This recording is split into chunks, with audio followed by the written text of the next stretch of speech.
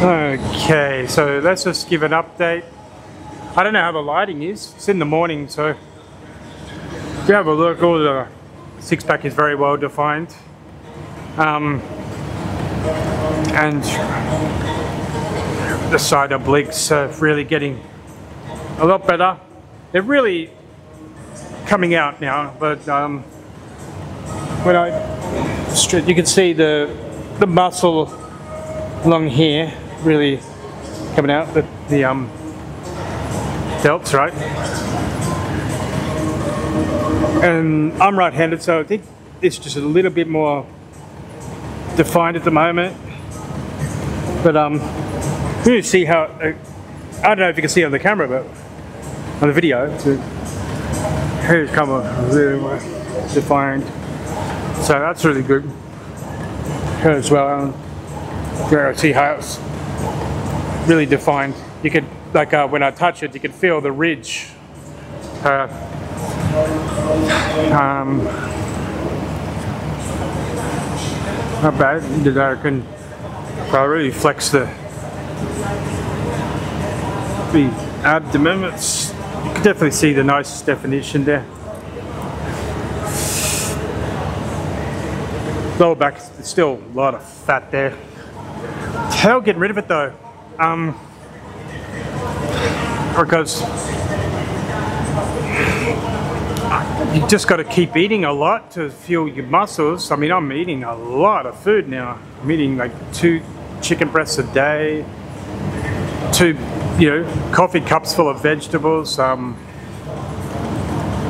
another cup of cup or two cups of berries, and three cups of rice. Um, just trying to think what else. Um, rolled oats, like just a big bucket.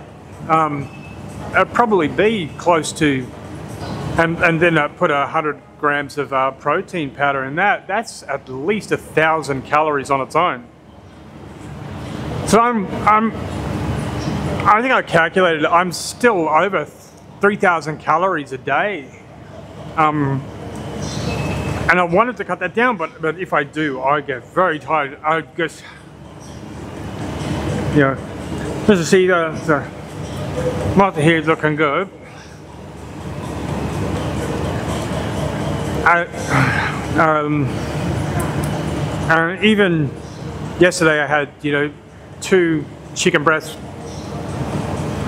three cups of, or cup and a half of rice for two meals, a lot of vegetables. Oh, I forgot, four eggs in each, so eight eggs total as well.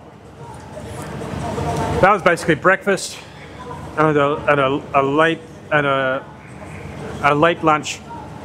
Uh, but the oats were during the day is to keep fueling because I'm feeling like every if I don't eat every two or three two hours, I, I, I feel really hungry now.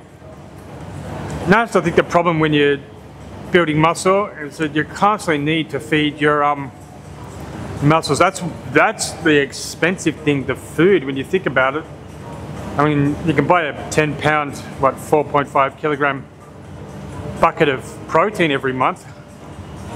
Um, but just every week food, I have to go to here in Pattaya, I go to Makro, where they have two kilogram bags of frozen chicken. I have to buy four or five bags a month. I think two kilogram bags of vegetables, so I'll go do that as well. Big bags of rice and stuff. And I prefer home delivery so I don't have to ride my bike to go get the stuff. I don't know if I'm going to drop it or not. If they deliver it, it's insured, so. Um, but um, it's, it's an expensive endeavor. Even if we're just doing it as like a, a it's a general amateur hobby, you know. So I don't know. What do you guys think? And the good thing is when I when I move, you can see the you definitely see the the nice six pack there, but also the um you see the muscle moving, which I like that. Like look at that. Um, yeah. Oh, I'm very tired. I gotta go back just to some um, few more little exercises, then I've got to go home. Got to go to work because this doesn't pay for itself. Um, join my OnlyFans, join my Patreon, join. Please do, It'd be really helpful. And uh, check out the link below. Okay, good people. All right, I gotta go. So have a fantastic day. Bye bye.